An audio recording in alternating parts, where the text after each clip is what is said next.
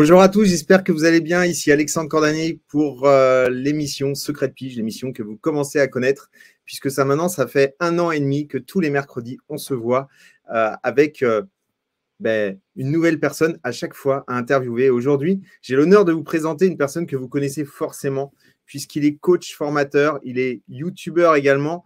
Alors, je ne sais pas s'il aime le terme YouTuber, on va lui demander, mais en tous les cas, il a une chaîne YouTube qui cartonne en plus. Euh, où il présente énormément euh, de contenu immobilier.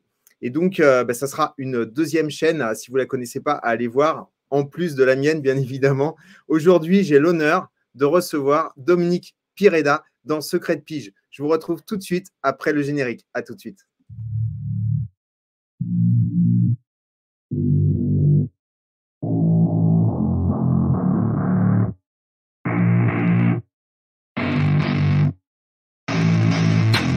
Don't get what I want, I get what I need. Every single day I'm heading off to my dream And I get everything that I damn well please. I don't give a damn if you all listening to me Cause I run it, I'm the only one that really want it. I'm the only one that's really on it, I'm just being honest. I'm just doing everything I promise cause I want it bad enough That I'ma make it as an artist. And I know I'm not the smartest and I know I'm not the largest But I promise you that I'ma be the one that worked the hardest Cause I promise you that I'm just getting started. And I promise you Hello Dominique. Salut Alexandre, bonjour à Alors, tous. Coach et formateur Coach et formateur. Je vois que tu as bien retenu la, leçon. Oui, tout à fait. Coach, formateur, j'aime bien séparer les deux parce que c'est deux métiers qui sont foncièrement différents. Et par contre, je réponds tout de suite à ta question. Non, je ne suis pas youtubeur et je n'ai pas cette prétention-là. Euh, mais effectivement, coach et formateur sont deux casquettes différentes, même si elles peuvent parfois se compléter. Mais euh, voilà, comme on en discutait un petit peu en off, euh, le terme de coach est un terme, hélas, un peu trop galvaudé aujourd'hui. Mais euh, voilà, quand on est un vrai coach, je pense qu'on on a également beaucoup euh, d'armes supplémentaires en main pour aider les gens et euh, qu'en étant un simple formateur en fait. C'est vrai, et en plus tu m'as appris que tu avais fait l'INA, donc l'école des neurosciences appliquées, l'INA, l'Institut des neurosciences appliquées. Donc je ne savais pas, bravo, c'est une, c'est une institut, c'est une école que je connais bien parce que j'ai des amis qui l'ont faite. Et donc, euh, voilà, bah, c'est super. Donc, euh, oui, pour le coup, tu es, euh, vraiment coach. et c'est pour ça qu'effectivement, il faut vraiment faire la distinction entre le coaching et le coaching. Parce qu'on a souvent, effectivement, beaucoup de gens qui disent je suis coach, mais qui n'ont pas les diplômes qu'il faut. Et donc, bravo, bravo pour cette, mise en, application, en tout cas, de tout ce que tu fais. Parce que moi, je te regarde depuis pas mal de temps sur YouTube. Euh, on n'avait jamais eu l'occasion de, se parler. Et puis, c'est vrai que l'occasion a fait que euh, je t'ai euh, appelé, je t'ai contacté pour savoir si tu voulais faire cette émission. on se connaît peu finalement. Moi, ça fait, tu vois, 20 ans que je fais de l'immobilier. Donc, j'ai pu regarder tes émissions et, enfin, en tout cas, tes vidéos sur, sur ta chaîne YouTube qui sont à chaque fois très percutantes parce que tu proviens aussi du, du métier de, du métier de l'immobilier avant tout. Ah oui, oui, bien sûr. Alors, moi, j'ai commencé l'immobilier en 2007. Euh, je suis rentré par la porte de la défiscalisation. Et puis, euh, et puis après, j'ai rejoint la, transaction, la transaction classique euh, dans l'ancien. donc, depuis 2007, ça commence à faire un petit bail, comme dirait l'autre. Et puis, depuis trois ans, quatre ans, depuis le temps que je, je suis revenu sur m'installer dans le sud de la France, effectivement, j'ai dû lever le pied parce qu'on ne peut pas tout faire. Et on ne peut pas surtout quand je suis arrivé ici, j'ai essayé de, créer un portefeuille. J'ai commencé à créer un portefeuille, puis je me suis aperçu que j'étais incapable de le, respecter, ce portefeuille. Et j'étais en train de faire ce que je, surtout j'évitais de faire faire aux autres. C'est-à-dire que bah, voilà, un client m'appelait, euh, je répondais pas forcément. Enfin, je veux dire, euh, voilà. Donc, arrivé à ce stade, je me suis dit, OK, l'immobilier, on reprendra peut-être après. Euh, tu es suffisamment auprès des gens que tu accompagnes pour savoir ce qui s'y passe, euh, et justement, avec le coaching, parce que c'est un métier à question, en fait, le coaching, hein, surtout, euh, contrairement au formateur où c'est plutôt un métier à affirmation. Euh, donc, voilà, je, dirais, je suis autant aujourd'hui sur le terrain, même si physiquement, j'y suis pas. Maintenant, je, je t'avouerai que ça, ça, gratouille de temps en temps. Et l'idée de se dire, tiens, je reprendrai bien un portefeuille, ça, ça, ça manque. Des fois, ça manque. Ouais, tu pourrais, tu pourrais même créer un petit réseau parce que euh, vu, euh, vu le nombre de personnes qui te, qui te suivent, tu aurais, euh, aurais, de quoi créer un petit réseau immobilier. Oui. Chaque, chose, chaque chose a, son temps, on va dire. J'ai passé l'âge de créer un réseau. J'ai passé l'âge de créer un réseau. Ok. Euh, du coup, ben, je ne vais pas demander ton âge. Alors, 64 ans seulement. Hein. Ok, bah, tu vois. Ouais, ouais c'est vrai. C'est vrai que finalement, euh, tu ne les fais pas. C'est peut-être pour ça aussi. Ouais, merci. Donc, euh, on va parler acquéreur aujourd'hui parce que c'est vrai qu'on parle très peu acquéreur. Moi, j'aime parler acquéreur parce que c'est vrai que finalement, les acquéreurs, c'est la base la base de, tout, malgré ce qu'on peut dire. C'est-à-dire qu'effectivement, lorsqu'on travaille, il faut des vendeurs, on est là, il faut de la prospection. Mais souvent, on oublie, on oublie que les acquéreurs sont quand même là pour acheter et qu'à la base, ces acquéreurs, bah, ils sont aussi euh, peut-être propriétaires ou euh, s'ils ne sont pas propriétaires, ils connaissent aussi euh, des propriétaires dans leur entourage. Et donc, l'idée, c'est de, de se dire que on pourrait aujourd'hui avoir une véritable stratégie acquéreur qu'on n'a pas que peu finalement de conseillers immobiliers ont. Et est-ce que finalement la solution à il y a trop de concurrence, c'est trop compliqué, les honoraires sont, sont à la baisse, on nous rabaisse nos honoraires à chaque fois, etc. etc. Est-ce que la solution, ce ne serait pas les acquéreurs? Alors, en préparant cette émission, parce que j'ai un petit peu préparé quand même, comme dans tout, hein, il faut dire préparation, j'ai réfléchi un petit peu. alors, pour être tout à fait clair avec ceux qui nous regardent, tu m'as demandé quel sujet tu veux qu'on aborde. Je t'ai dit celui que tu veux et tu as dit acquéreur parce que c'est vrai qu'on n'en parle pas souvent. Et, c'est un fait, moi le premier, je dois avoir quelques vidéos sur les acquéreurs, sur les 350 ou 400 vidéos qui sont en ligne, mais très peu, très peu sur les acquéreurs, enfin énormément sur les vendeurs. Je crois qu'on a un métier où on est obnubilé par le mandat et, euh, effectivement, on est obnubilé par les vendeurs. D'ailleurs, il y a, une, y a une, un bruit qui court que nos clients seraient les vendeurs et pas les acquéreurs. Je ne vois pas comment c'est possible, mais il y a effectivement ce, ce, bruit de cours. Alors, euh, je, vais aller plus loin que, toi, en fait. C'est que euh, un vendeur, il a d'abord été un acquéreur. Dans la majorité des cas, sauf les cas de succession ou autres, mais dans la majorité des cas, un vendeur, il a d'abord été acquéreur. Il a d'abord été acquéreur. Ce qui veut dire quoi? Ce qui veut dire que si aujourd'hui, et on est nombreux comme ça à se plaindre de l'image qu'on a, peut-être que c'est parce que justement, comme vous connaissez tous le vieil adage qu'on a que ce sont les premières secondes où qui comptent hein, comme dans une relation, peut-être que euh, ces vendeurs d'aujourd'hui, ils sont passés un jour acquéreurs et qu'ils n'ont pas été convaincus par notre travail et ça, c'est très important de se dire, bah, voilà, peut-être que mon acquéreur euh, sera vendeur demain, tu viens de le dire. Il est peut-être même vendeur aujourd'hui. Et donc, ça veut dire quoi? Ça veut dire que si on avait pris peut-être plus euh, précaution de nos acquéreurs avant, peut-être qu'on n'aurait pas cette image aujourd'hui quand ils sont vendeurs aujourd'hui. C'est une réflexion, c'est philosophique, c'est tout ce qu'on veut, mais je pense qu'il y a quand même certainement une petite, euh, une petite part de, vrai là-dedans. Et puis, euh, l'autre, l'autre travers qu'on a en tant qu'agent immobilier, et, moi y compris, hein, c'est qu'on a souvent misé sur du one-shot. On croit que notre métier, c'est du one-shot. Or, notre métier, c'est tout sauf du one-shot. En tout cas, pour réussir, c'est tout sauf du one-shot. Si on l'aborde comme du one-shot, effectivement, ça va être très, très difficile.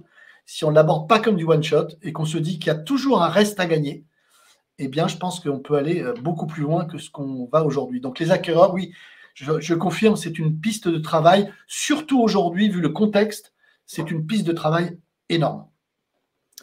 Tu sais, c'est marrant que tu dis ça parce que euh, moi, quand j'ai démarré l'immobilier, en fait, c'était en 2001. Donc, tu vois, ça ça fait encore plus longtemps que toi. Euh, bah, on, s'occupait euh, très peu. Enfin, nous, la data, en fait, à l'époque, on s'en occupait pas. Parce que, d'une part, parce que ça a évolué très vite et parce que les portables changeaient tous les ans il n'y avait pas la portabilité, tu te rappelles la fameuse portabilité du numéro qui est arrivée après. Et puis euh, les adresses mail, bah, tout le monde n'avait pas. Et puis c'est pareil, hein, il y avait des hotmails, des trucs, des machins. Les gens changeaient d'adresse mail tout le temps et du coup, on ne s'occupait pas de la data. Et, c'est vrai qu'à l'époque, en fait, euh, ben, ça allait vite, en fait. C'est-à-dire qu'on on, passait vite à la trappe tous les acquéreurs, euh, voire tous les vendeurs à un moment donné. Et, plus ça a été, en fait, plus on s'est rendu compte que euh, bah, il fallait faire attention à sa data. Après, comment travailler la data, ça c'est toujours un problème parce que avoir de la data, c'est bien. Savoir avoir une vraie stratégie sur la data, c'est encore différent.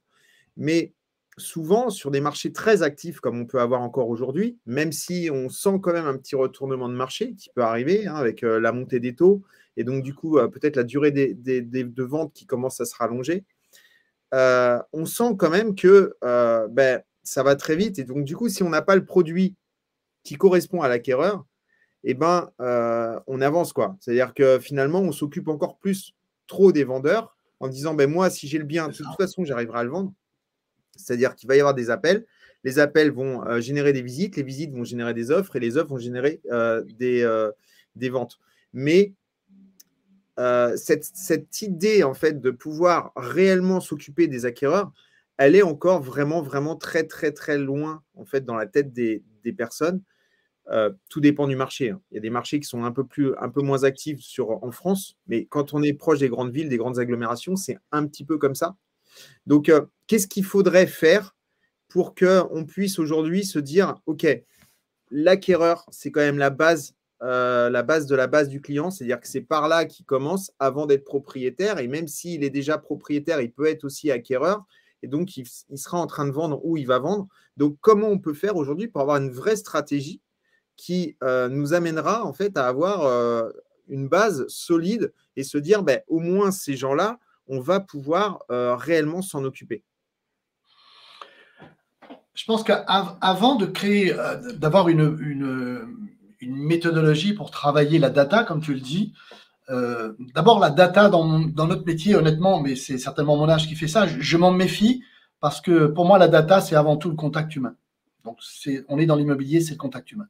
Donc, il y a, quelque chose qu'il faut vraiment avoir, c'est la vision. La vision de ce qu'est un acquéreur et de ce que peut être un acquéreur et de ce que peut arriver à être un acquéreur. J'ai souvent l'habitude de dire, et aussi bien pour, pour les vendeurs que les acquéreurs, que pour, pour un tas d'autres choses, j'ai souvent la, façon de dire, c'est que dans notre métier, et ça revient sur ce que je disais tout à l'heure par rapport au one shot, c'est que euh, on doit toujours avoir un plan A et un plan B. Quand je fais une action, je vois beaucoup de négociateurs qui se plaignent de travailler pour rien. D'accord? Ah, il m'a encore fait déplacer pour rien. Ah, j'ai été prendre un mandat pour rien. Ah, c'est. Et ça, c'est ça, c'est euh, c'est vraiment de, de, l'auto-sabotage, en fait. C'est de l'auto-sabotage. Dans notre métier, on doit toujours avoir une vision à moyen, à court, moyen et long terme. Un acquéreur, euh, quand je fais une visite avec un acquéreur, parce que l'acquéreur, il nous vient tout seul, en fait, quelque part. Hein. À la base, j'ai un, un bien, il m'appelle. Donc, à la base, pour un néophyte, c'est pas un problème d'avoir des acquéreurs. Son problème, c'est d'avoir des mandats. Mais à partir du moment où il a des mandats, il a des acquéreurs. Maintenant, est-ce qu'il va les travailler ou pas? Ça, c'est autre chose. Donc, comme je disais tout à l'heure, le tout, c'est d'avoir un plan A et un plan B. Eh bien, avec les acquéreurs, euh, on peut avoir jusqu'à un plan H. Et ça, je ne pense pas que beaucoup de gens aient cette vision de l'acquéreur et au moins cette façon de travailler l'acquéreur. Un acquéreur, c'est quoi? Si tu, si tu, je sais pas si tu permets maintenant, je peux, voilà, je peux donner le, plan A, B, C, D, E, F, G, H. Bien sûr, bien sûr. Tu peux partager ton écran si tu veux. Oh non, non, non, je l'ai, je l'ai à l'écran, ça va être très vite. Euh, le, comment dirais-je? Le, plan A, bien évidemment, j'emmène un acquéreur en visite, bah, c'est l'offre d'achat. On est, on est bien d'accord, c'est l'offre d'achat. Ne pas oublier quand même que c'est l'offre d'achat sur le bien que je lui présente, mais ça peut aussi être une offre d'achat sur un autre bien que je pourrais lui présenter. Donc déjà là, sur le, sur le, plan, le plan A, on a déjà une piste de travail. Sur le plan B, ça va être euh, cet acquéreur, si je le trimballe, on va, on va dire comme ça, d'accord Ça fait euh, encore un qui visite pour rien. Si je le trimballe, eh bien, qu'est-ce qui peut m'apporter d'autre? Sur un plan B, il pourrait peut-être m'apporter, par exemple, m'aider dans ma négociation avec mon vendeur, faire une baisse de prix. Ça, c'est le plan B.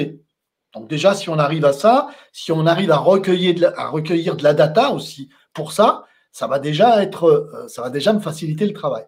Et puis il y a un plan C, c'est que effectivement, tu le disais tout à l'heure, comment il finance le bien que je suis en train de faire visiter? Comment il va financer le bien qu'il va acquérir, celui-là ou un autre? Peut-être qu'il a un bien à vendre. Donc ça veut dire que un acquéreur, eh bien, également un pourvoyeur de mandat, dans certains cas, bien évidemment. Donc là, au plan C. Euh, au plan D, euh, cette personne qui visite avec moi, si j'ai le bon contact, si j'ai le bon feeling, si j'ai le bon mindset, si j'arrive à nouer la confiance, bah, il peut peut-être aussi m'indiquer un petit peu ce qu'il a vu dans le quartier. par exemple, ce qu'il a vu dans la résidence d'à côté. Qu'est-ce que vous avez visité dernièrement Et peut, par ce biais-là, il peut m'ouvrir des portes. D'accord? Ah, vous avez visité un endroit je ne savais pas que c'était à vendre. C'est où exactement? On va pouvoir le questionner. Peut-être même avoir l'adresse, peut-être même avoir le nom du propriétaire, en savoir un peu sur l'état d'esprit du propriétaire. Et pourquoi pas lui dire bah, écoutez, je peux, je, peux rappeler cette personne et lui demander, euh, enfin, lui dire que je vous ai rencontré lors d'une visite et que vous m'avez parlé de son bien et que son bien me semble intéressant. On peut continuer à, monter, à, être amené à, à creuser comme ça on est toujours sur une visite d'un simple acquéreur hein, qui nous aura peut-être déjà dit non sur le bien qu'on lui a présenté. Ça, c'est euh, le, le, quatrièmement. Cinquièmement, euh, donc le plan E. le plan E, voilà. Oui, j'ai pas, la, pas la correspondance. je vais te laisser faire alors. Euh, en, cinquièmement, donc en plan E, ça va être cette personne-là, si elle a une recherche précise, peut-être qu'elle elle mérite un mandat de recherche. D'accord? Ce mandat de recherche, euh, il va me permettre quoi? Il va me permettre un plan F qui va être d'aller chercher du mandat grâce à ce mandat de recherche. On est bien d'accord? Hmm. Et donc de rentrer d'autres biens. On a un plan G, c'est euh, quelqu'un qui pourra me confier la vente de son bien dans X temps. C'est-à-dire que cette, ce, cet acquéreur-là, même s'il n'achète pas avec moi, s'il a eu une bonne impression, eh bien pourquoi pas? Est-ce que demain, c'est demain, dans deux ans, dans trois ans, dans cinq ans, on est vraiment sur le long terme, pourquoi est-ce qu'il ne m'appellerait pas pour euh, me confier son bien à la vente? Je prends un exemple qui m'est arrivé, c'est du vécu. Hein. Euh, j'avais une, maison à vendre, c'était sur Ajaccio, j'avais enfin à Porticcio exactement, dans la banlieue d'Ajaccio. J'avais une maison à vendre et cette maison, euh, ça faisait 5-6 mois que j'avais le mandat, et j'ai un acquéreur qui se présente un jour, des gens qui arrivaient du continent, qui étaient en galère parce qu'ils avaient vendu leur maison sur le continent, et ils étaient chez leurs enfants, en attendant de trouver le bien de leur rêve. Ça faisait quelques mois qu'ils cherchaient, sauf que euh, bah, vivre chez ses enfants, c'est pas forcément ce qu'il y a de plus, de plus facile, et qu'au bout d'un moment, la situation était tendue, donc il leur fallait quelque chose d'urgence. Et ces gens-là me font une offre me font une offre euh, au prix de la maison que j'avais en vente en me disant c'est très urgent, il faut que ça aille très vite. Bon, je vais voir le vendeur, la vendeuse. Pour des raisons que j'ai compris, euh, que j'ai compris, cette personne, au moment où l'offre, hein, ça nous est tous arrivé, arrive, eh bien cette personne-là s'est désistée. Elle a dit non, ben je vends plus. En fait, avec mon frère, on a réfléchi. Maman a 90 ans, elle est dans la maison. Si on fait ça, il m'a dit que j'allais la tuer. Enfin, je vous passe les détails. C'est cette personne-là. Donc, c'est des situations qui sont assez difficiles à gérer, surtout qu'à l'époque, je n'avais pas forcément, euh, j'avais pas autant d'expérience. Et aller dire à un acquéreur qui est dans le besoin, entre guillemets, qui vous fait une offre au prix qui plus est, et lui dire que le vendeur se rétracte et que c'est très compliqué. Je l'ai fait, et apparemment, le message est très bien passé, puisque cinq ans après, cette personne-là m'a rappelé en me disant bah, écoutez, monsieur Pireda, euh, on revend le bien qu'on a trouvé, pas par votre intermédiaire, puisque ça n'a pas pu se faire. On revend le bien et on veut que ce soit vous qui vous en occupiez et qui plus est en exclusif. Donc ça veut dire qu'on n'a on jamais perdu, en fait. On n'a jamais perdu. Et puis, et puis dernier, on va, on, va en, H, on va. Bah, un acquéreur peut très bien mettre un petit avis positif sur, mon site internet ou sur mon, mon Google. Enfin, je veux dire, le tout, c'est de demander qu'est-ce que ça coûte de demander ça à un acquéreur. Au bout du bout, tout ce qu'on a vu précédemment n'aboutit pas. Au bout du bout, bah, on tente le, tout pour le tout. Pourquoi pas? Il n'a pas de bien à vendre, il est. Peu importe. Pourquoi pas? Je pense que euh, c'est hyper important. Après, c'est de le canaliser aussi sur les réseaux sociaux, bien évidemment. Ouais, donc euh, en gros, euh, une fois que tu es un acquéreur, en fait, tu as effectivement énormément de possibilités avec lui ce qui te permet derrière de ne pas perdre ton temps, ce que tu disais en fait. Et, quand tu veux jouer juste l'idée du, court terme et que bah, tu as pris ton acquéreur, tu lui as montré le bien et que finalement le bien ne correspond pas, bah, tu peux te dire mince, aujourd'hui j'ai plus rien à lui proposer, donc il ne me sert plus à rien cet acquéreur. Et au final, en fait, tu as démontré très rapidement que cet acquéreur en fait pouvait aujourd'hui euh, te servir à énormément de choses, notamment euh, comme euh, en indicateur d'affaires, par exemple. C'est c'est quelque chose qui est vraiment euh, extraordinaire. À partir du moment où l'acquéreur, en fait, tu as une relation qui se crée avec l'acquéreur, ou pas, des fois, hein, même, euh, tu leur dis, s'il n'y a pas vraiment de relation, tu peux dire, vous avez visité quoi? Ils vont dire, bah, j'ai visité la maison qui se situe là, dans la rue derrière. Après, il y a des gens qui sont un peu plus fermés. Bon, après, c'est normal, hein, ils respectent aussi la, confidentialité, mais il y en a plein qui, qui s'en fichent. Donc oui, tu as raison. Effectivement, on a différents plans avec un acquéreur. Et là où je te rejoins aussi, c'est par rapport à la data, parce que tu dis que euh, effectivement, euh, ben, la data, c'est effectivement important, mais que c'est plus important quand même le contact humain euh, qu'on pouvait avoir avec, avec, avec le client. D'ailleurs, le plan H, je pensais que c'était le, le, le, le, plan humain que tu allais nous sortir. Donc, je me suis dit, plan H, c'était le plan humain. heureusement qu'on n'a pas de continuer quand même, hein, parce qu'après, il y a des lettres qui sont un peu étranges dans, le, dans l'alphabet. Hein. Oui, je, vois ce que tu veux dire. Je vois ce que tu veux dire. Il y a, des chiffres. on s'arrête. Euh, on peut, on peut toujours, on peut toujours établir une relation. Je pense que, alors bien sûr, il y a des exceptions. C'est toutes les exceptions qui confirment la règle. On est bien d'accord. Mais euh, bien souvent, à y réfléchir, et je pense que ta, position de coach ne me dira pas le contraire. Euh, bien souvent, imaginons, ça fait cinq fois, dix fois que je fais visiter ce bien. J'ai un appel dans la foulée, j'ai un appel, quelqu'un le visite. Je vois que d'entrée de jeu, euh, ça va pas matcher, parce que ça aussi, avec l'expérience, on l'a. Mon comportement, quel va être mon comportement? Est-ce que je vais pouvoir aller jusqu'au plan H alors que, alors que quelque part, ça fait 10 minutes que je suis dans la maison et que je sais déjà que ça va pas aller et puis que ça me gonfle parce que ça fait déjà 10 fois que je fais visiter et que ce bien, je voulais pas le prendre au départ. Comment je vais me comporter moi-même? Je pense que déjà, c'est la principale question. C'est comment moi, je me comporte euh, pour, pour espérer euh, obtenir quelque chose de l'autre. Euh, les gens sont beaucoup plus près qu'on le croit à, se dévoiler, sont beaucoup plus prêts qu'on le croit à nous aider. Hein. Vous savez que on, pourrait aider beaucoup plus, mais bien souvent, c'est nous qui n'osons pas demander ou qui ne voulons pas demander d'être aidés. Mais euh, voilà, je pense que la relation, sauf cas vraiment exceptionnel, et puis après, il peut y avoir des circonstances aussi. Hein. On ne sait pas ce qui s'est passé euh, dix minutes euh, avec les acquéreurs avant la vente. Hein. S'ils sont engueulés dans la voiture, c'est sûr que ça va être compliqué. Mais voilà, je pense que la relation, il faut jamais se dire euh, oh c'est foutu ou oh, ça m'énerve, parce que sinon on n'est on n'est pas à même de créer quoi que ce soit quoi, dans l'humain. tu es dans les émotions. Et une fois que tu t'es euh, as, fait monter les émotions négatives sur, sur ta relation que tu peux avoir avec ton acquéreur, ou ton vendeur, comme tu dis, parce que ça se trouve, c'est un bien que tu n'as pas voulu prendre au départ, que tu as pris quand même parce que tu n'as pas osé dire non, parce que ça, on peut en parler aussi. Et qu'à un moment donné, bah, du coup, euh, c'est pas un bien voulu, tu le fais visiter, mais comme tu le fais visiter à reculons, tu ne le vends pas. Et qu'à un moment donné, c'est l'acquéreur qui en prend plein la tête, alors que lui, il y est pour rien. Et, c'est marrant parce que à la base, en fait, c'était simplement toi qui n'as pas décidé euh, de prendre la bonne décision au moment où tu avais le choix de dire non.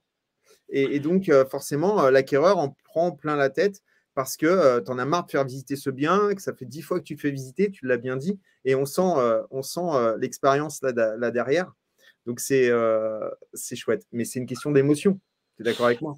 C'est une question d'émotion et ça, et ça remet en cause toute la, la, la, question sur la responsabilisation et sur la responsabilité. Est-ce que je ne suis pas responsable de ce qui se passe? De toute façon, euh, même si je sais que ça ne plaît pas quand je dis ça, euh, on a une part de responsabilité. Rien ne se fait sans notre engagement à un moment ou à un autre. Notre choix ou notre absence de choix, parfois, notre absence de choix. Mais de toute façon, euh, comme tu disais tout à l'heure, parce qu'on n'ose pas refuser, bah, c'est une absence de, de, de, de, bon choix pour nous. Et effectivement, on se retrouve avec, avec une patate chaude. Et c'est toute la, problématique. Oui, on est d'accord. On est d'accord. Exactement. J'ai une question de Jonathan qui dit Est-ce que cette notion d'aide apportée au bon est-ce que cette notion d'aide apportée au bon moment fait la différence, vendeur ou acquéreur? Est-ce que cette notion d'aide, euh, cette notion d'aide qui est apportée en fait, est-ce que finalement l'aide qu'on peut apporter à un acquéreur ou un vendeur peut, elle, faire la différence? C'est une question qui est intéressante parce qu'en fait, on dit toujours, on parle toujours de différenciation du commercial, du conseiller immobilier. Comment se différencier? Est-ce que finalement, on ne va pas pouvoir se différencier avec l'aide qu'on va apporter à l'acquéreur-vendeur, c'est-à-dire finalement à, cette notion de, suivi vendeur et acquéreur C'est très intéressant. On pourrait en parler des heures. Euh, je vais essayer de simplifier. Euh, se différencier aujourd'hui, c'est quoi? Se différencier, je, le répète souvent, se différencier, c'est faire son job. Et je pense que beaucoup de gens n'ont pas pris le temps, euh, n'ont pas pris euh, euh, la mesure du job qu'ils ont. C'est pour ça d'ailleurs qu'on a autant de problèmes avec les honoraires, d'accord? Des gens qui, qui n'hésitent pas à baisser leurs honoraires parce que, bah, tout simplement parce qu'ils n'ont pas confiance, parce qu'eux-mêmes ne croient pas réellement en ce qu'ils peuvent apporter à leurs à leur vendeurs, notamment, hein, puisque c'est le, frein, il est surtout sur la prospection. Maintenant, vis-à-vis des acquéreurs, ben, il y a un autre problème, c'est que on pourrait tendre à dire, ben, un acquéreur, il achète ou il achète pas, ça lui plaît ou ça lui plaît pas, d'accord? Et ça nous arrange bien parce qu'en fait, on n'a pas à se battre comme ça, ça plaît ou ça plaît pas. On fait visiter, ça plaît moi, j'ai entendu de la part d'acquéreurs des gens me dire Mais euh, bah, vous, vous nous faites visiter, mais euh, votre collègue, là, euh, la dernière fois, elle est restée dehors, a fumé sa clope, elle nous a donné les clés, on est rentré, on a visité. Hmm. Je veux dire, ça plaît ou ça plaît pas. Donc, vous achetez ou vous achetez pas quelque part. Hmm. un acquéreur, il faut quand même se mettre à la place toujours de nos clients, que ce soit des vendeurs ou des acquéreurs d'ailleurs, et se dire que acheter une maison aujourd'hui, c'est quand même très, très, très difficile dans, dans, dans, l'esprit d'un acquéreur. C'est très, très, très compliqué pour plusieurs raisons.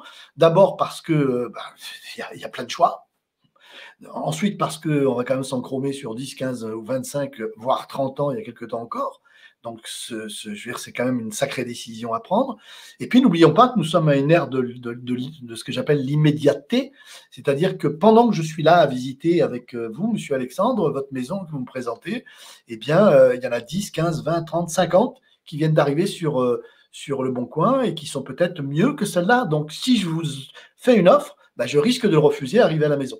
D'ailleurs, on le sait tous, une des premières choses que font nos acquéreurs lorsqu'ils ont fait une offre, ils font sur Internet et ils vont voir euh, ils vont voir euh, ce qui est sorti, euh, est-ce que j'ai bien fait, ils vont essayer de comparer.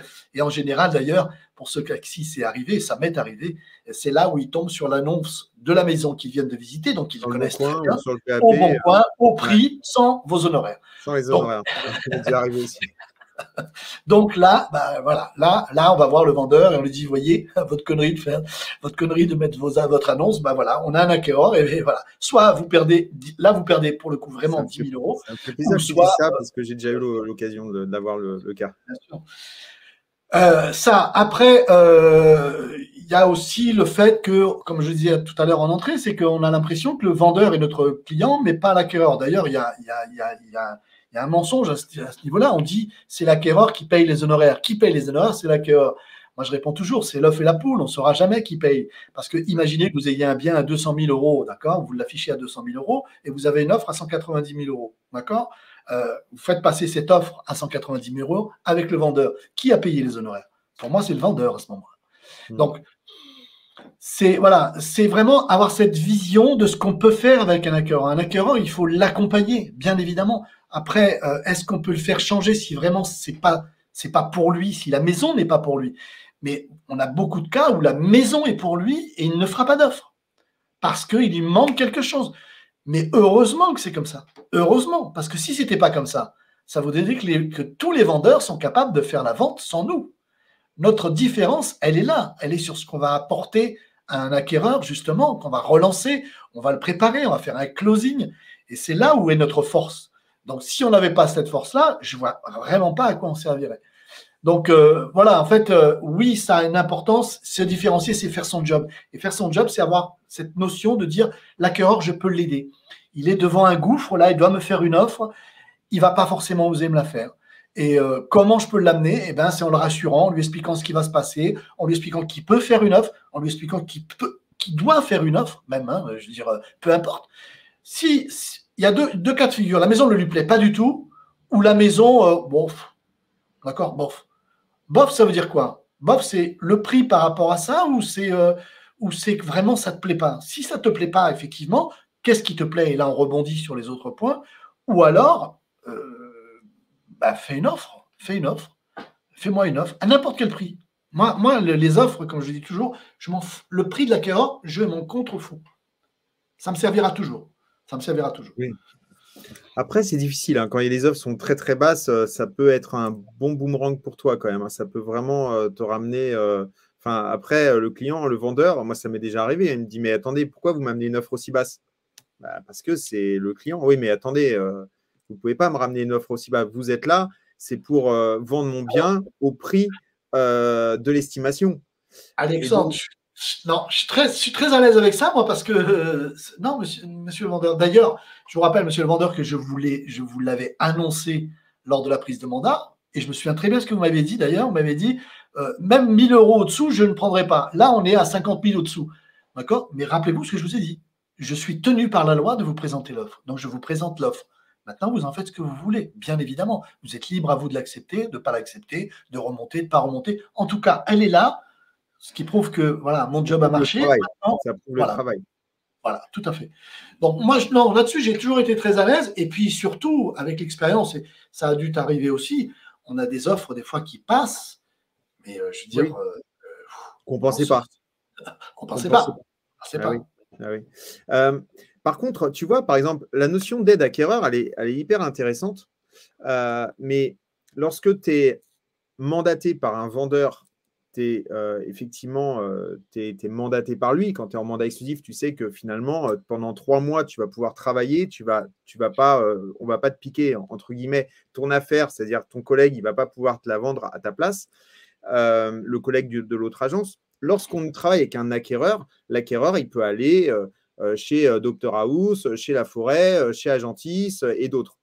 Donc, si effectivement, euh, si effectivement cet acquéreur peut aller dans toutes les agences, d'accord, c'est peut-être aussi ce qui explique qu'aujourd'hui, en fait, euh, les conseillers immobiliers ne veulent pas trop travailler sur les acquéreurs, les aider, entre guillemets, parce que l'aide que tu peux apporter à un acquéreur, moi, on m'a toujours dit, c'était euh, ce qu'on m'avait appris au début, on m'avait dit fais attention parce qu'à chaque fois que tu présentes un bien à un acquéreur qui ne prend pas, eh ben, petit à petit, en fait, tu vas travailler pour lui, mais tu travailles pour les autres aussi. C'est-à-dire qu'au final, tu vas lui présenter un bien, donc il va affiner sa recherche. Et comme toi, tu lui as pas présenté finalement le bien qu'il va prendre, eh ben, finalement, il va affiner, il va affiner, il va affiner. Et puis peut-être qu'un jour, bah, il y a quelqu'un, il y a un concurrent qui va l'appeler pour lui proposer quelque chose. Et à ce moment-là, bah, il va se décider. Est-ce que ça ne serait pas plus simple finalement de dire bah, pourquoi on n'essaye pas de, travailler plus en mandat de recherche exclusif de manière à pouvoir se dire, ben, clairement, je tiens un acquéreur, on a un bon contact ensemble, euh, ben, je suis là pour l'aider. Mais pour ça, il faudrait que finalement, on ait une ouverture globale du marché immobilier, ce qui n'est pas le cas. Aujourd'hui, on sait bien ce qui se passe, c'est que les agences, quand elles prennent leur petit mandat exclusif, ben, veulent se le garder pour elles en se disant, ben, au moins, j'aurai une double, une, ma com complète. Mais ce ne serait pas la solution finalement alors, ce serait peut-être la solution, mais euh, dans ce que tu dis, euh, ça rejoint tout à fait le sujet de cette, de cette, de cette interview. C'est que, effectivement, mon, mon, client est devant moi, mon acquéreur est devant moi, euh, j'affine sa recherche. À moi, effectivement, soit de rebondir sur un mandat de recherche, c'est pas toujours, c'est pas toujours fiable un mandat de recherche parce que, bah parce que, ou alors faut qu'il soit exclusif. Mais très peu de vendeurs, très peu d'acquéreurs, par contre, sont prêts à, signer un mandat de recherche. Mais soit je lui fais signer un mandat de recherche, soit effectivement je vais continuer à le suivre et je vais lui trouver ce qu'il ce qu'il veut. Et justement, on va rebondir sur le fait que bah, je vais être légitimé parce qu'il y a ça aussi. Quand j'appelle euh, quelqu'un pour, pour euh, euh, en mandat de recherche, je suis beaucoup plus légitimé et je me sens beaucoup plus légitime pour essayer d'obtenir au moins une visite du bien que lorsque je suis en pige, par exemple, où je fais simplement de la prospection. Donc ça veut dire quoi? Ça veut dire que l'acquéreur m'a déjà aidé à ce niveau-là. Il m'aide, je vais aller visiter ce bien charge à moi d'avoir le mandat après ou de lui apporter des, des. Mais voilà, donc ça veut dire que déjà là, l'acquéreur m'aide et moi, je vais l'aider aussi parce que effectivement, je peux avoir ce bien, je peux aller voir ce bien et, euh, euh, peut-être que ça peut matcher. Maintenant, je peux aussi avoir des biens en stock dont je n'ai pas le mandat, que j'ai visité il y a X temps ou pas, ou que je connais par alors là aussi, où je connais par d'autres négociateurs du coin avec qui je travaille et qui m'ont euh, mis euh, euh, tous les premiers jeudis du mois, on boit un verre ensemble et on, étale nos biens. C'est toute cette démarche-là. On est, on est vraiment sur la construction. Je pense que ce qui tue le métier et ce qui tue beaucoup de négociateurs qui rentrent dans ce métier, c'est ce manque de vision long terme et de se dire qu'ils sont là, mais ils, ont, ils n'ont pas cette vision de se dire Je suis là aujourd'hui, ça va être dur, parce qu'il faut être, honnête, ça va être dur. mais dans dix ans, je serai là. C'est cette projection de se dire, voilà, ce que je vais construire aujourd'hui, c'est ça. On le voit avec les estimations, on fait beaucoup d'estimations, on fait parfois les estimations, les gens nous disent au téléphone, bah, je vous préviens, c'est pour une succession, on ne veut pas vendre. Qu'est-ce que je fais? Je fais une estimation, je ne la fais pas. Moi, mon, mon, truc est simple. Soit tu es gavé jusque-là et que tu as 5 euh, compromis en cours, tu as 10 actes authentiques à signer et que tu as 12 mandats dans ton portefeuille, d'accord? Dont, euh, dont 8 exclusivités. Dans ce cas-là, oui, bah, ne perds peut-être pas ton temps, n'investis pas pour aussi longtemps. Maintenant, si tu débutes et que tu n'as que ça à faire, sauf à te lamenter parce que tes annonces paraissent pas ou parce que ci ou parce que ça, vas-y, fais, fais cette, estimation, Tu sais pas ce que ça peut donner. On a, on a dans, le, dans, le réseau euh, Dr House, mais euh, moi ça m'est déjà aussi arrivé, on a des gens qui euh, font des estimations et cinq ans plus tard, ils ont un appel téléphonique de, des gens. Vous m'aviez fait une estimation à l'époque. Ben ouais, mais une vente dans l'année, ça peut changer tout le cours de l'histoire hein, pour chacun d'entre nous. C'est ça qui est important. Bien sûr, bien sûr. Il y a encore des gens qui se posent la question s'ils doivent faire une estimation? Oui, bien sûr. Oh, j'en ai marre, je fais des. Alors, euh, là aussi, euh, ah, j'en ai marre, je fais des estimations sans arrêt, on me demande des estimations, je les fais, il n'y a rien derrière, je voudrais les faire payer. Alors, d'une part, tu n'as pas le droit de les faire payer, et puis il y a peut-être peut quelque, chose à, peut quelque chose à te poser, une question à te poser. Si tu fais des estimations euh, à tir larigot et que tu n'as pas de mandat derrière, une succession, je veux bien, deux successions, je veux bien, au bout d'un moment, il faut te poser la question. Il y a, il y a un problème de transformation. C'est. Euh, Toujours pareil, hein. c'est la formation, la formation de base là, qui, manque souvent. Ouais, là, il faut aller voir euh, Dominique parce que euh, effectivement, il y a peut-être un petit souci au départ. Euh, d'ailleurs, au départ, tout se joue au téléphone, c'est-à-dire effectivement l'accroche au téléphone et les questions que tu vas poser au téléphone, savoir si effectivement tu veux partir à faire cette estimation ou pas. C'est-à-dire effectivement, il y a des questions même à poser et encore une fois, savoir dire non, c'est aussi des fois aussi savoir se choisir. Et à partir du moment où tu dis non, c'est que finalement, tu sais que euh, de toute façon, c'est clair pour toi. C'est que de toute façon, euh, ça n'aurait pas été. Et comme tu l'as dit tout à l'heure, un problème d'émotion, si on part en reculant, eh ben, c'est sûr qu'on ne va pas y aller correctement. Et donc, l'estimation, de toute façon, autant ne pas la faire. parce que les gens, ils ont besoin de personnes positives, de personnes qui soient bah, capables euh, de, leur, euh, de leur, vendre, euh, leur vendre leurs biens et donc leur montrer qu'ils sont capables de vendre leurs biens. Et ça, c'est important. Je pense que c'est hyper important. concernant les acquéreurs, on a, on, a, on, a fait un, on a fait un bon bout de chemin là ensemble et je te remercie. ce, qui est, ce, qui est, ce qui est clair, c'est que du coup, comme on l'a vu, donc en fait, un acquéreur peut servir à beaucoup de choses peut servir. J'aime pas trop ce, mot-là parce que je trouve que c'est. Euh, voilà, mais en tout cas, on peut effectivement réaliser différentes actions avec un acquéreur. Et, donc, euh, donc l'acquéreur ne l'acquéreur en fait n'est pas là juste pour faire une visite, mais derrière en fait, euh, ça peut être juste un avis sur un téléphone, ça peut être sur Google, ça peut être aussi, comme tu l'as dit, un prescripteur, ça peut être pas mal de choses qui fait que à un moment, donné, eh ben, on, puisse comme ça développer cette, base acquéreur. Est-ce que toi, tu es pour... Euh, on n'a pas parlé de digital, je sais que tout à l'heure, tu as parlé de, de rapport humain. Euh, est-ce que tu es pour le digital ou pas? Alors, le digital, il est, incontournable aujourd'hui, mais ce n'est pas une fin en soi. Ça ne doit surtout pas être une fin en soi. Et je pense que d'ailleurs, euh, depuis, moi, en tout cas, j'ai l'impression, alors après, est-ce que c'est simplement la traduction de, de, de vœux pieux, j'en sais rien. Mais en tout cas, j'ai l'impression qu'on a il y a un décalage par rapport au, digital, par rapport à ce qui se faisait avant le Covid et maintenant.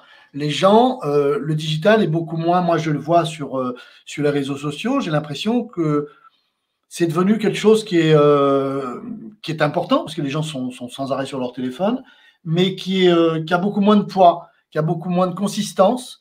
Et oui, il faut être sur le digital, mais la finalité, c'est la rencontre. La finalité, comme je dis tout le temps, on peut vous donner les meilleurs, enfin, on peut vous donner tous les leads du monde.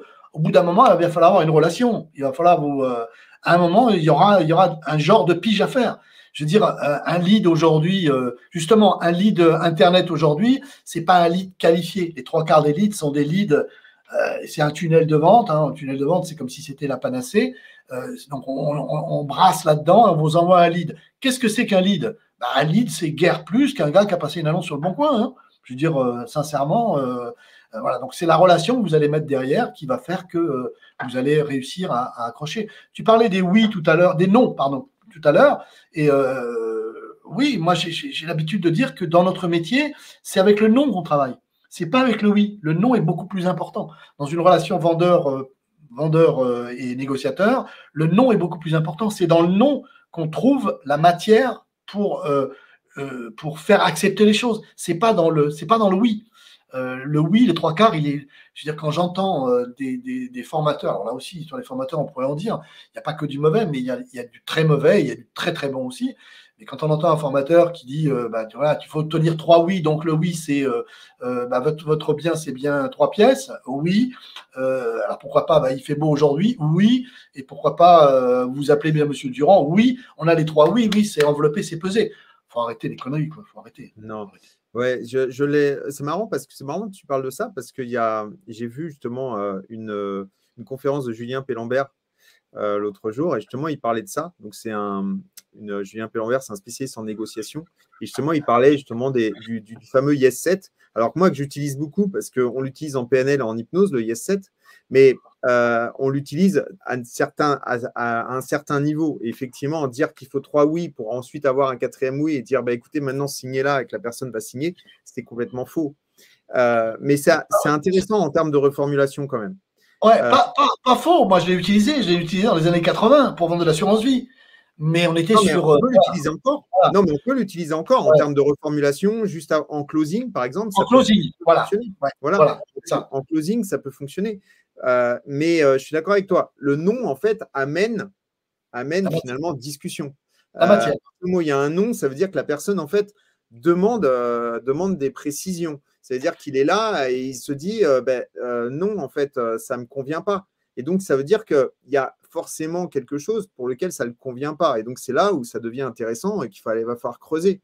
Mais, et là, je suis tota-, totalement d'accord avec toi. Si tout le monde disait oui, ça serait, euh, ça, serait, euh, ça serait chiant, quoi. Hein, tu, parles de Julien Pellabert. J'ai lu ces, deux bouquins et, euh, actuellement, je, termine sa formation de sa certification de, négociateur, justement. ok, d'accord. Je connais très bien aussi. Mais oui, voilà, c'est sûr que le, c'est la différence d'ailleurs entre un produit, quand je vends un produit, effectivement, je, me base sur quelque chose de factuel. Donc ça, vous aviez besoin d'un téléphone avec trois objectifs? Là on peut obtenir un oui, si tu veux, vois, on peut sur un produit fini oui. Et c'est la grosse différence que je fais et je me bats depuis des années là-dessus, c'est que nous ne sommes pas des vendeurs. J'ai été vendeur, j'ai vendu de l'assurance vie, j'ai frappé aux portes, je me suis fait jeter, je me suis fait lâcher les chiens au derrière. Je sais ce que c'est dans les années 80, hein. donc je sais ce que c'est que de vendre avec le pied dans la porte. Aujourd'hui, c'est fini. D'abord, ça marche plus et heureusement parce que c'était limite limite légale. Mais dans notre métier, nous ne sommes pas des vendeurs. Nous ne vendons pas. Nous sommes des négociateurs. La meilleure preuve, c'est que on a, euh, je dirais, c'est la, grosse erreur de, la loi Hoguet, hein, une loi qui a plus de 50 ans maintenant, c'est d'avoir euh, parlé de mandat de vente. On n'a pas un mandat de vente, on le sait tous, on a un mandat d'entremise. Qui dit entremise Il y a deux solutions, soit vous entremettez avec vous-même, d'accord Et dans ce cas-là, ça devient, c'est plus de l'entremise, soit vous entremettez avec deux personnes. Il faut mettre ces deux personnes d'accord. Vous, vous êtes au centre parce que le but, c'est pas de mettre ces trois personnes d'accord, c'est d'en mettre deux d'accord. C'est notre métier et on sera au centre. Donc, effectivement, on sera tous les trois d'accord, mais le but, c'est de travailler sur l'accord des deux. Donc, euh, c'est de la négociation. Notre métier, c'est négociateur, c'est pas vendeur. On n'est pas vendeur. Pour moi, je ne suis, je, suis pas vendeur. D'ailleurs, je n'ai pas de mandat de vente. Je ne vois pas ce que je peux vendre, puisque je ne peux pas m'engager au nom de mon client. Euh, bah, si on avait Tu peux te vendre toi-même. Oui, euh, oui ça c'est autre chose. Ça c'est autre chose. Oui, me vendre moi-même, bien évidemment, bien évidemment. Mais je veux dire, au nom de mon client, au nom du mandat que j'ai, je ne suis pas un vendeur. Je n'ai pas prendre le mandat. Et pour prendre le mandat au départ. Oui, je me vends moi. Oui, moi.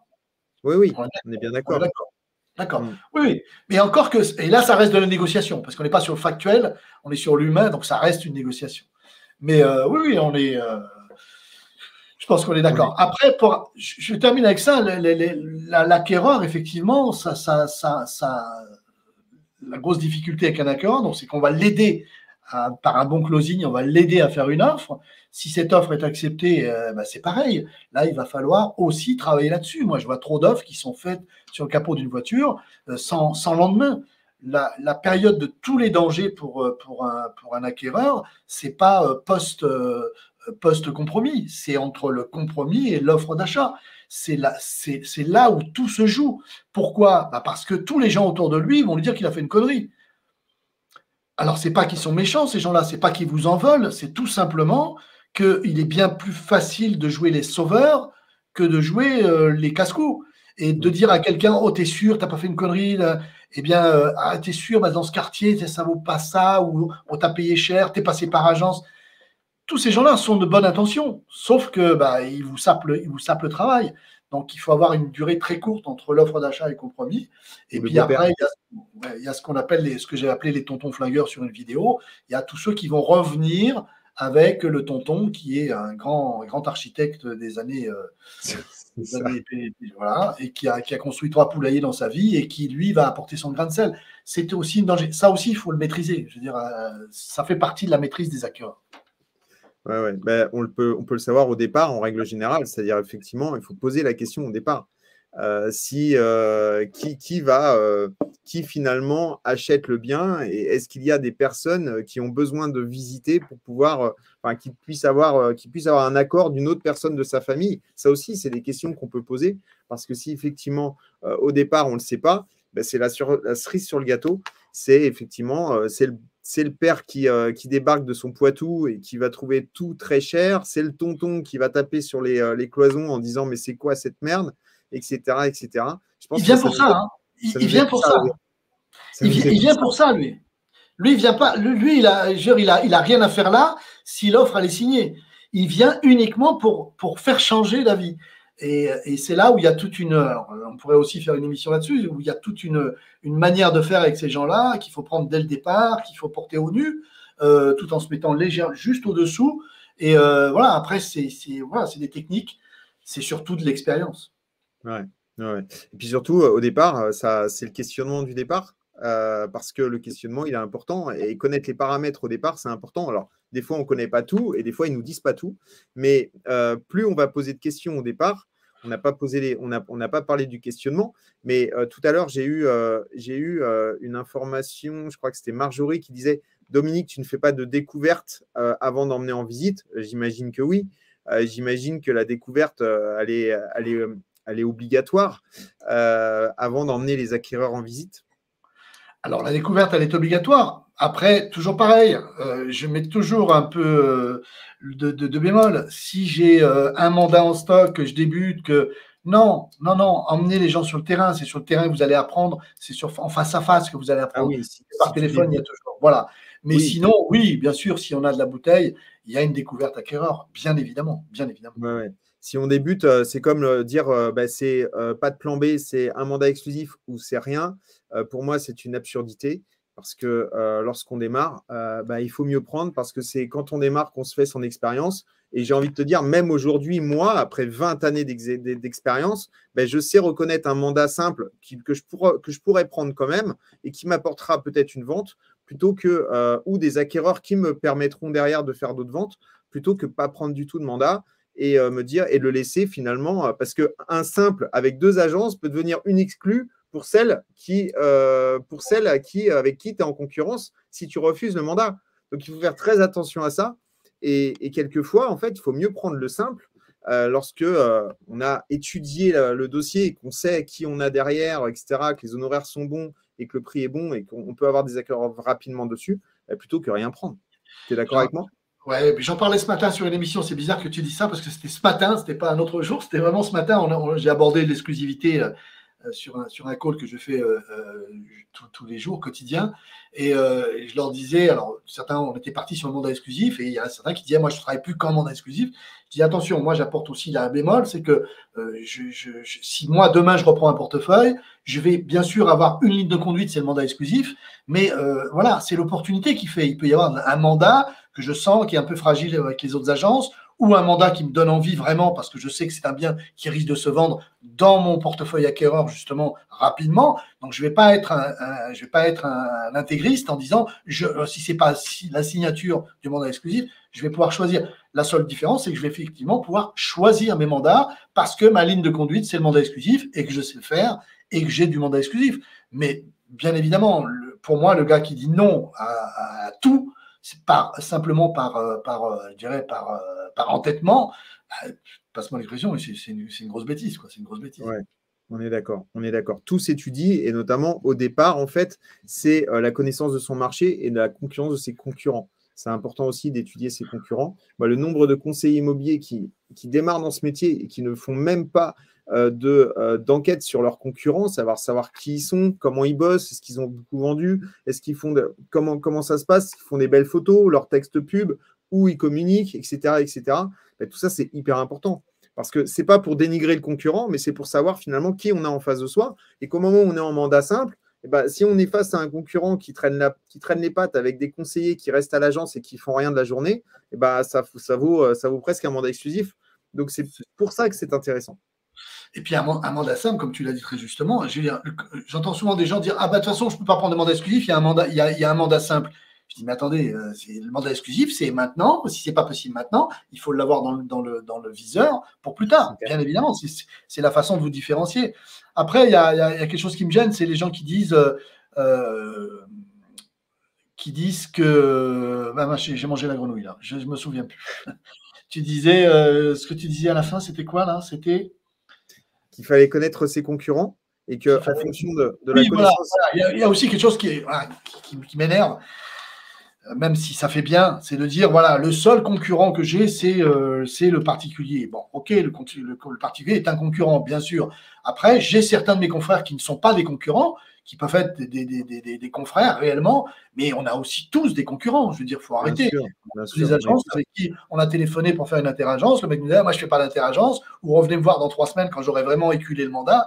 Bon, bah, celui-là, pour moi, c'est un concurrent, point barre, c'est tout. Bah, si on me voit, je le prends, mais s'il ne vient pas me revoir, c'est un concurrent. Donc, il faut arrêter de dire Moi, le seul concurrent qu'on a, ça, ça fait très bien dans le. Dans, le oui, bon.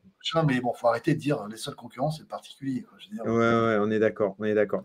Euh, Dominique, est-ce que tu as d'autres conseils par rapport aux acquéreurs et par rapport à la gestion d'acquéreurs? Non, euh, non, revoir, revoir sa copie, vraiment se poser. C'est encore ce que je disais ce matin sur, sur, cette, sur cette matinale, c'est de, voilà, de se dire voilà, un acquéreur, c'est quoi? Comment je peux travailler mon acquéreur? L'écrire noir sur blanc, avoir des objectifs, se dire voilà, il faut que j'évolue et, surtout se dire que si ça ne fonctionne pas, eh bien, euh, j'ai ma part de responsabilité. Donc, si ça ne fonctionne pas, si je fais beaucoup de visites et que j'ai pas d'offres, euh, déjà, c'est pas normal. Euh, on, on, doit tout faire pour avoir une offre, voilà, quelle qu'elle soit. Même si elle est 50 000 au-dessous, c'est pas grave. Je vais la présenter. Bah, retranchez-vous sur ce que je disais tout à l'heure en disant bah, c'est la loi qui m'y oblige. Mais moi, ça fait réfléchir votre propriétaire. Un propriétaire qui reçoit une offre 50 000 au-dessous, d'accord euh, bah, il prend une grosse baffe, effectivement. Euh, faites attention de ne pas en prendre une aussi, mais il, se prend une grosse baffe, c'est évident. Mais euh, quand vous lui rapportez une offre qui est 25 000 au-dessous, il y a deux façons de voir les choses. Hein. Il a gagné 25 000 euros par rapport à votre ancienne offre, ou, il perd, perd que 25 000 euros. donc, je veux dire, c'est toute une psychologie, et je pense que notre, métier est un travail qui porte énormément sur la psychologie. Et euh, voilà, donc revoyez votre copie sur les acquéreurs. Aujourd'hui, bien plus qu'hier, même si je disais au début de cette, interview que c'était peut-être une erreur et c'est peut-être aussi pour ça qu'on on est dans cette situation aujourd'hui, mais on ne va pas refaire le passé. Donc les acquéreurs sont à travailler. Travaillez vos acquéreurs, travaillez sur votre secteur aussi, c'est hyper important. Quand vous travaillez, quand vous adressez à un vendeur qui est sur votre secteur, qui vous a peut-être croisé à la boulangerie, à la, à la pharmacie, à, à l'école euh, pour les choses des enfants, c'est un point, c'est un point d'entrée énorme. Mais les acquéreurs, c'est pareil trouver aussi des points de concordance avec un acquéreur. Pourquoi? Bah, Parce que l'acquéreur, c'est pareil. Il a besoin de faire confiance. Et qu'on fait confiance à quelqu'un qui est, bah, si, si, même si je t'ai jamais rencontré, tu habites à côté de chez moi, eh bien, il y a, un, morceau de confiance qui vient automatiquement. Et ça, ça aide énormément. C'est là-dessus qu'on va s'appuyer. Parce que j'estime que si tu habites à côté de chez moi, bah, quelque part, tu peux pas m'escroquer. Et tu peux pas m'escroquer. Pourquoi? Tu vas être beaucoup plus vrai parce que tu habites à côté de chez moi. Ce qui peut être complètement aberrant parce que euh, les plus grands assassins ont des voisins. Mais c'est comme ça que ça fonctionne. Donc, c'est vrai. Euh, et, par rapport à ce que tu dis, ce qui est marrant, c'est que par exemple, tu pars en vacances. Alors, par exemple, tu pars en vacances dans un pays étranger. D'accord? Alors, là, si, si tu pars en vacances en pays étranger, tu vois un Français, tu as l'impression que c'est un ami. C'est-à-dire que, oh là là, un Français, c'est génial. Alors que tu le verrais dans la rue, tu ne lui dirais même pas bonjour. Tu dirais ce gros beauf, ce gros beauf. c'est ça. Et, euh, et euh, quand tu es à un, autre, un autre niveau, par exemple, tu vas en vacances sur la, dans le sud-ouest et là, tu rencontres un gars qui habite dans ta commune. Ben, c'est pareil, en fait. Ça devient un ami, en fait. Oh là là, on habite dans la même commune et tout, c'est génial. Et c'est très marrant parce qu'en fait, les, les, les, gens, en fait, vont, euh, en fonction des, des, cadres, vont se rapprocher par affinité. Et en fait, l'affinité, la, ça peut être effectivement euh, le fait d'habiter dans la même commune quand on, habite, quand, on, quand on se voit très loin, ou ça peut être tout autre chose. Mais c'est vraiment très rigolo. C'est ce qui rassure, c'est la vision de la carte du monde. Hein. C'est ce qu'on appelle en, dans le coaching, tu vas voir, la vision de la carte du monde. C'est voilà, comment, à quoi je me rattache. Il ne faut pas oublier qu'on on, on ne vit qu'au travers de nos peurs, principalement au travers de nos peurs. Mm. Donc, euh, et ces peurs-là en, font partie. Je veux dire, euh, un étranger, ça reste un étranger. Alors, il y a l'étranger euh, parce que je ne le connais pas, il y a l'étranger parce qu'il il il habite pas la commune, il y a l'étranger parce qu'il n'habite pas le département, il y a l'étranger parce qu'il habite le sud et moi le nord, et puis il y a l'étranger parce que c'est un véritable étranger. C'est qu'on le veuille ou non. Est-ce que c'est justifié Est-ce que c'est comme ça Et je pense qu'il faut le savoir. Il ne faut pas le rejeter parce que tout ça, ce sont des signaux et ce sont des, des, alertes dont on a besoin. Il faut simplement les percevoir au travers de soi d'abord. On a trop tendance à juger l'autre avant de se juger soi-même. Jugez-vous, regardez-vous en clientèle. Euh, chaque fois que vous sortez de clientèle, euh, refaites le film et dites-vous où est-ce que vous avez péché vous? Et arrêtez de dire qu'est-ce qu'il m'a dit qu'il n'aurait pas dû me dire ou qu'il m'a mal dit ou voilà. Dites-vous moi comment il m'a dit ça, mais pourquoi il m'a dit ça en fait? Qu'est-ce que j'ai posé comme question avant? C'est vous qu'il faut regarder. C'est une caméra, c'est pas une caméra comme ça, c'est une caméra. Là, il faut vous mettre en, comment on appelle ça, en FaceTime? Euh, pour, euh, non, c'est pas FaceTime, c'est. Euh, comment c'est? La, caméra. en mode selfie. En mode selfie, voilà. Il faut vous mettre en mode selfie pour, pour vous regarder. Et je peux vous assurer que là, vous avez une marge de manœuvre qui est énorme. Et après seulement, après seulement, on peut s'attaquer à l'autre quand je dis s'attaquer, c'est pas péjoratif, bien évidemment. On peut étudier l'autre. Mais l'autre, dans, dans la majorité des cas, a réagi par rapport à vous. D'accord? Et vous, vous avez réagi par rapport à lui. Sauf que vous, vous êtes le négociateur. Donc c'est à vous de vous écarter, c'est à vous de, de, laisser passer, c'est à vous d'utiliser. C'est voilà, ça sera, ça sera euh, mon mot de la fin sur ce sujet-là. Après, s'il y a d'autres questions, bien évidemment. Euh, juste une dernière question. Là, avec tout ce qui se passe en ce moment, avec la guerre, etc., est-ce que euh, tu as vu, toi, dans tes coachés et dans tes formations, des gens, en fait, qui, qui galèrent un peu plus avec la montée des taux, etc. Qu'est-ce que tu en penses, toi? Parce qu'en fait, c'est un sujet acquéreur aussi. L'idée, c'est de se dire, aujourd'hui, tu as, connu, as connu aussi des crises dans, ton, dans, dans, le milieu de l'immobilier, comme moi. Est-ce qu'aujourd'hui, tu penses qu'on est au début euh, euh, d'une petite crise immobilière, dans le sens où effectivement, les taux qui remontent, les prix qui vont peut-être commencer un petit peu à, baisser, les acquéreurs qui vont commencer à réfléchir? Qu'est-ce que tu en penses? J'aime pas, pas donner mon avis là-dessus. D'abord parce que je joue pas à Pierre, et le loup. Euh, quand il y a eu le Covid, euh, je me suis mis comme, comme toi certainement, comme beaucoup euh, qui étions déjà un petit peu sur Internet, je me suis mis, on a fait des, des, webconférences et je me suis alpagué une ou deux fois avec des, des gens qui effectivement avaient connu 2008, donc disaient bah, le Covid c'est rien, ça va passer, ça va, c'est rien du tout. Moi j'ai connu 2008. Je pense qu'il n'y a aucune crise qui ressemble à une autre crise. Une mm. chose est sûre, c'est qu'il y a un tassement actuellement. Maintenant, il y a quand même une situation géopolitique internationale qui est quand même très particulière. On est quand même en guerre, et c'est quand même une guerre qui n'est pas très très loin de chez nous. Ça, mm. c'est sûr. Il faut en tenir compte. Le deuxième point, c'est qu'on est quand même sur un aussi géopolitiquement intérieur. On est quand même, et on sera fixé dimanche, on est quand même sur aussi quelque chose d'assez lourd. Donc, il est normal qu'il y ait un tassement. Pour moi, il est normal qu'il y ait un tassement. Qu'est-ce que je dois faire par rapport à ça? Est-ce que je dois euh, pleurer dans le giron de maman et, euh, me recroqueviller? Ah, Je dois faire ce que tout bon gestionnaire doit faire d'une entreprise. Et je vous rappelle que on a tous une entreprise euh, à gérer quand on est indépendant. Et je dois théoriser, non, trésoriser, trésoriser, trésoriser, voilà. Trésoriser, tout simplement. Je dois voilà, mettre l'argent de côté. Faire attention à mes dépenses. Faire attention à mes dépenses mais surtout, surtout, accélérer le mouvement. Parce que je suis dans quelque chose qui ralentit, mais ce n'est pas quelque chose qui est à l'arrêt. Ça veut dire quoi? Ça veut dire que bah, il faut que je gagne du terrain. Donc c'est là justement, et c'est quand tout va mal qu'on a tendance à abandonner, et c'est là où il faut donner un coup d'accélérateur au lieu de, euh, comme je disais tout à l'heure, d'aller pleurer dans le giron de maman, parce que ça, ça sert à rien et ça ne fera rien avancer. Exactement. Très bien. Ben là, ça sera vraiment le, mot de la fin. Je te remercie beaucoup, Dominique. C'était euh, très agréable de pouvoir discuter avec toi. Euh, Merci. Tu es, un homme de métier, ça se sent. En plus, tu es coach. Donc, euh, je, le ressens, je le ressens fortement. Et, donc, c'était vraiment très agréable. Il y a eu beaucoup, beaucoup de questions, beaucoup, de, beaucoup de, personnes qui ont réagi. Et donc, ben, je te remercie beaucoup. J'espère que ça vous a tous plu. J'espère que ça vous a aiguillé. J'espère que ça vous a illuminer peut-être euh, euh, des choses euh, en vous disant tiens, une petite idée par rapport aux acquéreurs. C'est vrai que Dominique a, été très pertinent là-dessus. Vous pouvez continuer à lui poser des questions. Vous pouvez continuer à me poser des questions. Vous, la vidéo sera disponible dans l'après-midi sur YouTube, bien évidemment. Vous pourrez la partager. Et ben, je vous dis à très bientôt pour un prochain secret de piche, bien évidemment. tous les matins vous pouvez retrouver Dominique, je ne sais pas où, parce qu'il a dit qu'il était tous les matins, peut-être dans un groupe privé. C'est privé. Ok.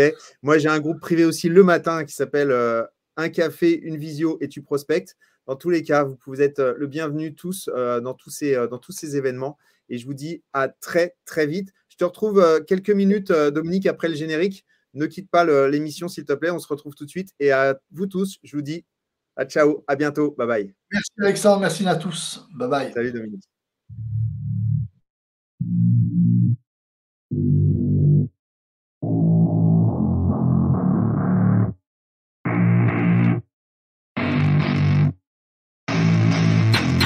Get what I want, I get what I need. Every single day I'm heading off to my dream And I get everything that I damn well please. I don't give a damn if you all listening to me Cause I run it, I'm the only one that really want it. I'm the only one that's really on it, I'm just being honest. I'm just doing everything I promise cause I want it bad enough That I'ma make it as an artist. And I know I'm not the smartest and I know I'm not the largest But I promise you that I'ma be the one that worked the hardest Cause I promise you that I'm just getting started. And I promise you